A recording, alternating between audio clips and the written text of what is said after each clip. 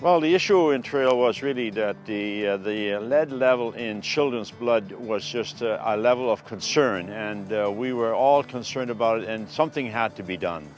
The partnership started about 1990, and uh, when the City of Trail and Teck and the two ministries, Ministry of Environment and Health, realized that the only way that we were going to address this problem was to involve the community, and particularly the people who had children uh, they needed to be an integral part of any organization or any committee that we were going to organize. So what impressed me most about this committee when I joined was the drive for continuous improvement that uh, each member brings to the table. When there's an issue to be addressed, the people step forward and work together and, and get, it, get it solved. That's what, one of the things that makes Trail unique, is the uh, great cooperation that people have here.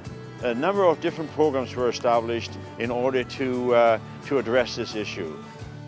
The Trail Lead Health Services is a program where we're encouraging and promoting health for the children that live in the trail area. So what we were learning today is we were uh, uh, teaching about hand washing and how important it is to wash your hands after you've been playing outside, um, before you come in to eat, and uh, to, to, make sure that the dust that can get on your hands from being outside doesn't get um, uh, into their bodies through their mouth. For over 20 years, all these groups with different perspectives have been sitting down at the same table, grappling around these issues, setting goals, achieving goals, achieving international recognition, and basically improving the health of kids and families and turning this issue into a strength and an asset that they have to share with the world. It's a model partnership.